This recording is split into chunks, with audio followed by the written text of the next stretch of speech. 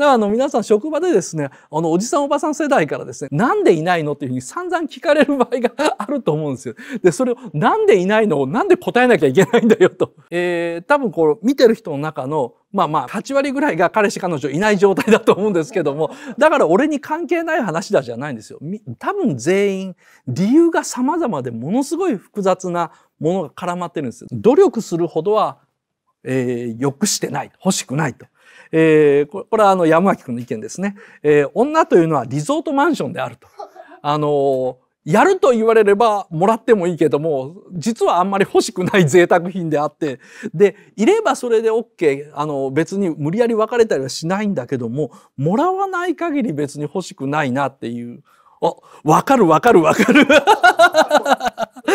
こう女リゾートマンション理論ってすごい面白いですよね。うんうん、で、なので、あの、自分は結局、えー、彼女がいらないんだという結論、いらないんだという結論じゃないそうです。いらないんだじゃなくて、いらないかと言われると相変わらず欲しいですよと。でも欲しいからってそれに関して努力することは、リゾートマンション欲しいだろう。そうですね、欲しいですね。じゃあ、努力しろよいや、お断りしますよと同じでですね。聞かれりゃ欲しいけども、努力するのはまっぴらごめんっていうですね。これあの、かなり皆さんに合致するのではないでしょうかね。わかるって やばい、共感する、それだと。山きよかったな。今日の視聴者は全部お前の友達だぞ。コスパが悪い。そうなんですよね。コスパとか恋愛におけるリターンが低いっていうと、ついついなんかドライに判断してるとか合理的に判断してるというふうに考えがちなんですけども、多分僕らの心ってもっと微妙でもっと繊細なんですよ。でそれをあえて路悪的に表現するときにコスパが悪いとかですね、リターンが低いという言い方するんですけども、多分その本音はその山木君の言葉の中での、まあ車も同じっていうあのコメントが今出てきたんですけども、それと同じでですね、あの、雑誌のプレゼントで当たったら大喜びでもらうんですよ。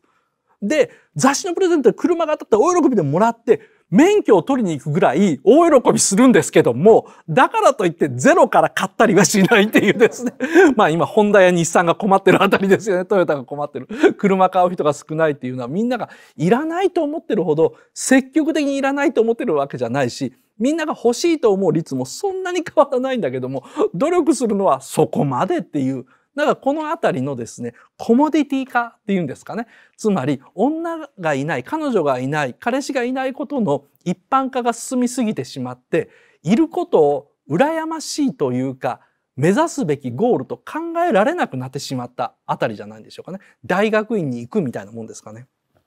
はい。田舎だと車必須だけどな、そうなんですよ。後でこれも話します。つまり、えー、じゃあなんで岡田さんには彼女がいるんですかというのに関しては、僕は田舎に住んでて車必需品だ理論なので、それの話は後でしますね。皆さんですね、その、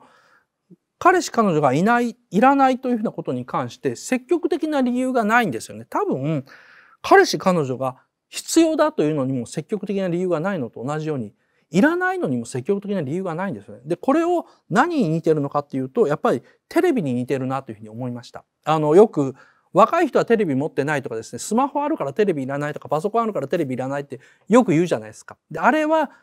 割とあの極端にみんな言いがちだと思うんですよね。実際はテレビ持ってないよとか、テレビいらないよとか、いや、テレビ家にないですよっていう人は、商店街の福引きでテレビが当たったら捨てないと思うんですよね。とりあえず家に置いてみると思うんですよ。それがなんかさ、さっきの山脇くんの言ってる、彼女いらないとかですね、あの、彼氏いらないというと同じようなもんで、福引きで当たって、それがなんか40インチのテレビであれば、つまりそこそこいい物件の彼氏彼女であれば、みんななんかあまり考えずに持ち帰って家に置いてから好きになると思うんですよね。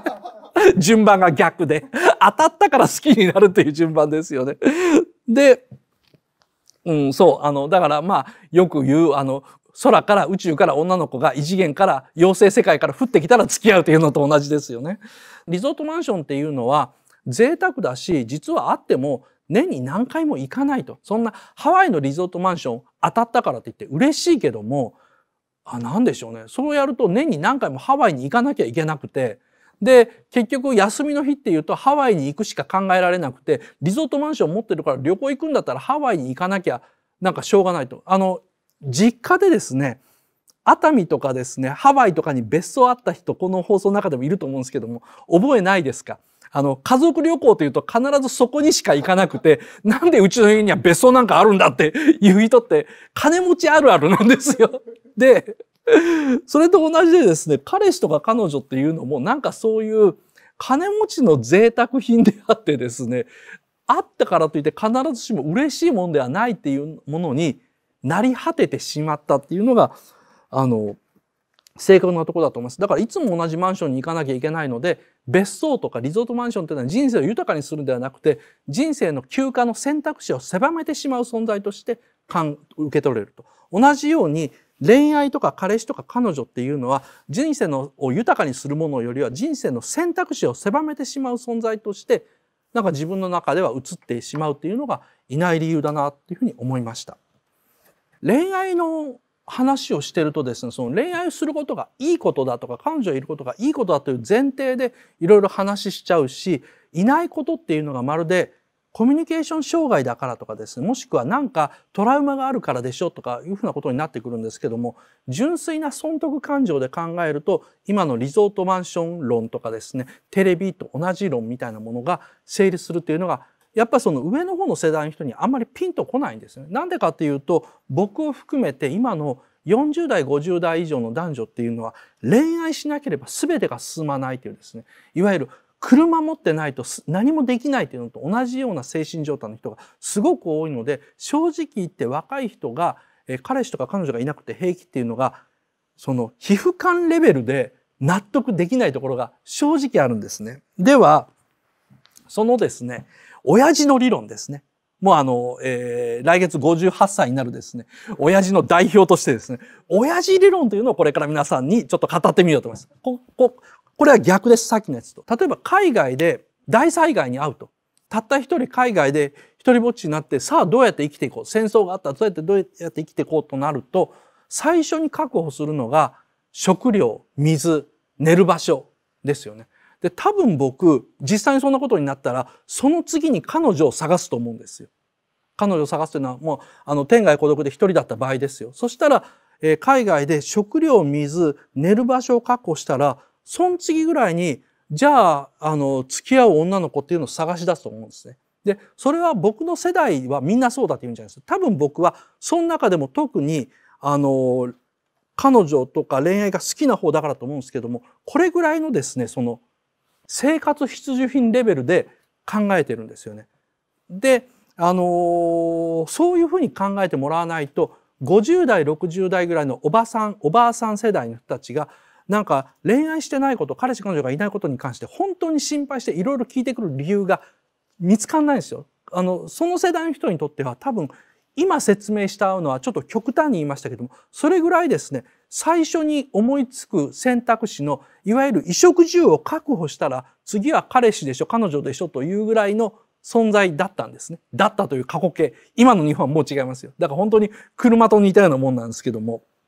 いるのが当たり前というかですね、いないことに理由がないと誰も許してくれないんですよ。だからあの皆さん職場でですね、あのおじさんおばさん世代からですね、学校でもそうなんですけども、なんでいないのっていうふうに散々聞かれる場合があると思うんですよ。で、それをなんでいないのをなんで答えなきゃいけないんだよと。もう本当にテレビとか車と同じで、そんなの持っててもしょうがないのにっていうのが、まあ正直な意見でしょうけども、あの、実際問題ですね、あの、僕にとってですね、あの、女の人っていうのはですね、万能ふりかけだというふうに言ってたんですね。あの、万能調味料だと。あの、まあ、ご飯食べるにしても、映画見るにしてもですね、テレビ見るにしても、どっか行くにしてもですね、あの、女の子と一緒だったら楽しいじゃんと。何にかけても美味しくなりますよ。味が倍になりますよと。だから、その醤油みたいなもんでですね、刺身食べる人何にしても、醤油みたいに役に立つ調味料、家に置いとかない手はないだろうと。みんななんで調味料なしで人生生きてんだっていうのが、本当になんか僕にしても多分僕の世代よりちょっと上ぐらいのおじさん連中と話したらこの話題で盛り上がれるんですよ。あの醤油扱い、そうですね。もう女の子をついには調味料扱い。さっきの、えリゾートマンションはまだましでした。テレビとかですね、車とかついには醤油扱いになったんですけども、それぐらいなんか、な、ないなんてないだろう？って話だと思うんですよね。うん、うん、うん。なくてもある程度楽しめる。そうなんですよ。なくてもある程度楽しめるんだ。100も承知の上で 僕の世界観としてはそうなわけですね。で、あの、ゼミでですね、こういう恋愛系の話をすると、まあ、毎回あの、ニコ生のですね、あの、コメント欄がですね、こう荒れるんですね。微妙に荒れるんですよ。で、これあの、YouTube のコメント欄よりも、ニコ生の方のコメント欄が荒れる感じが多いですよね。まあ、その荒れ方っていうのも、いわゆる普通の荒れるっていうんじゃないんですよね。あの、くだらない話やめろとか、そういう分かりやすいんではなくてですね、ちょっとみんなあの、語尾が荒くなるとかですね、なんかあの、路悪的とか下品な表現がちょっと増えていくみたいな、こう、本当にさざ波のような荒れ方なんですよね。だからまあ、けって感じになるんですけども、書き込んでる人もですねな、なんかあんまり自覚してないような、そう微妙な荒れ方で、まあそういうところから見てですね、みんなあの、彼女なんていらないとかですね、もしくはそんなのいる奴はリア充で関係ないとかね、そんな話するなと、言ってるけども、なんか、あの、割とね、話題自体がセンシティブなものなんだろうなと思うので、まあ、こういうのをアップグレード動画で出すのもですね、なかなか勇気がいるところであります。えー、最近はですね、まあ、そ、まあ、恋愛どころか結婚も不要だし、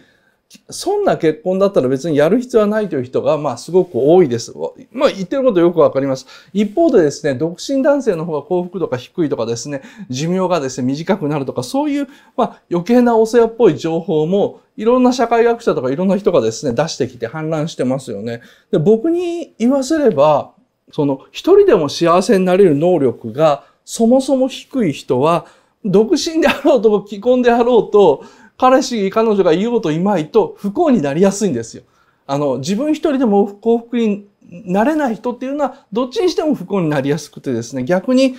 逆にですよ、一人でも幸福になれる能力が高すぎると、これ高すぎるとですね、今度は、その、無理に人に合わせる必要がないというか、まあ、人に合わせるのは苦痛になっちゃうんでですね、そもそも相手ができにくい。ですよね。なので、一人で幸せになる能力が割と肝だと思います。低すぎる人は、まあ、まずその能力開発した方がいいと思うし、逆に高すぎる人は、その、週末婚とか別居婚なんかのですね、その、あんまり関係が濃密にならない恋愛とかですね、そういう